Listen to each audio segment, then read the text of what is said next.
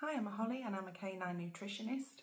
I specialise in the feeding of canine athletes and I want to tell you a little bit about why I recommend MaxxiPaws both for my clients and also why I use it for my own dogs.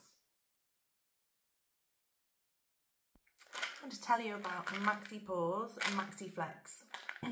I really like this product.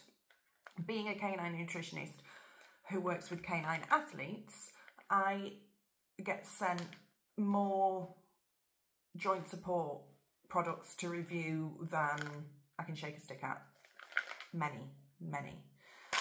Um, and this is the one I've picked as the, as, as the one that I like most. The reason being is because it's got everything in it. It comes in two sizes. I need this one because I have lots of dogs and I give it to them all. Um, but if you have a smaller dog um, or you just want to try it out, you're not sure, there's a smaller packet as well. MaxxiFlex is a really good product for a number of reasons. It's got multiple different anti-inflammatory sources in there. So if you have a dog who is particularly uncomfortable in their joints, it ticks the box for helping with comfort, which is a big thing.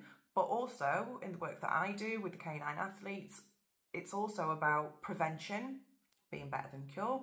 So we want to make sure that the dogs that that uh, that I deal with have healthy joints and have something in place to protect their joints because they do a busy job and their joints take a lot of impact. And MaxxiFlex has everything in there. It has hyaluronic acid, it has MSM, it has glucosamine, it has chondroitin, it has collagen.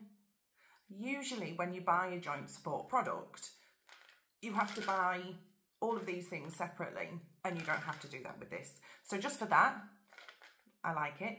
Um, it's really easy to give. It's um, like a tablet.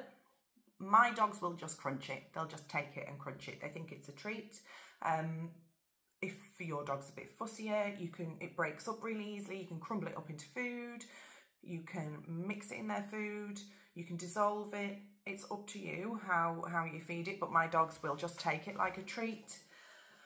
I have um, a couple of dogs with some joint problems a couple of dogs with uh, with sore knees um, and the difference since they've been on the MaxxiFlex is, is significant.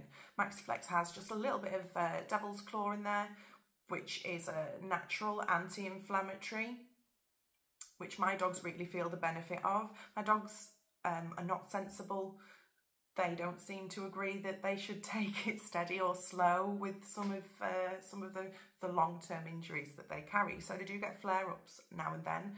Um, definitely less of those since the dogs have been on MaxxiFlex. It really agrees with them. Um, and all six of my dogs have MaxxiFlex.